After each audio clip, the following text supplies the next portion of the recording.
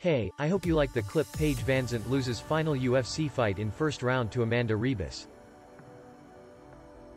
Paige VanZant lost her final fight in the UFC with a disappointing display against Amanda Ribas. Brazilian Ribas dominated from start to finish, scoring a first-round submission win, securing an armbar after great work on the ground. VanZant was always going to tap after three arm breaks in recent years. The 26-year-old is expected to leave the promotion after nine fights with the company. The fans' favorite has been unhappy, and vocal, about the lack of money she has been making in the UFC.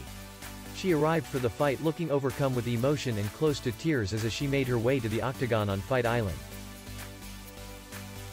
But VanZant was well overmatched and it showed from the first bell. For the impressive Ribas it is another signature win.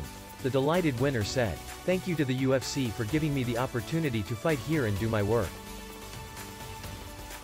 I think this fight proves no matter where you are or who you are, what matters is what you do with your life.